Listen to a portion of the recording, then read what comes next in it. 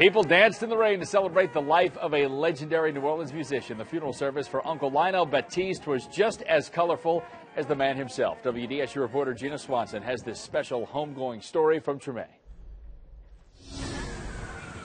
It was a send-off for a New Orleans original, a music legend, a second line king, a preserver of traditional jazz, and seemingly an instant family member, Uncle Lionel Batiste. His tribute in death was just as upbeat as his life. Just dancing and singing and happiness, joy, beautiful, beautiful attitude, positive all the time, never seen him frown.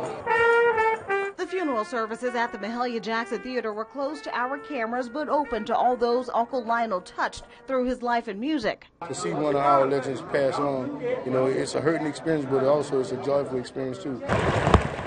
It rained so much water seemed to be coming up from the ground. The official second line was postponed, but nothing would stop his beloved Treme Brass Band and others from giving Uncle Lionel a proper send-off. No, the rain don't stop no show.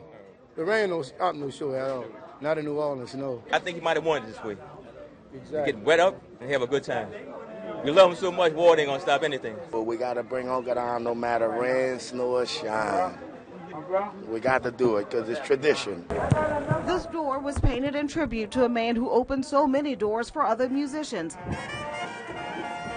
Umbrellas did double duty as funeral goers second lined from the Mahalia Jackson Theater through the streets of Treme. Even the mayor got in on the action, and this puddle was the only prop needed for some to pay tribute. Even though the community knew him as Uncle, Lionel Batiste was a father figure to many a New Orleans musician. His legacy in death is keeping traditional jazz alive. On your side in Treme, Gina Swanson, WDSU News. The jazz funeral and burial for Uncle Lionel Batiste has been rescheduled for Monday at 11 a.m.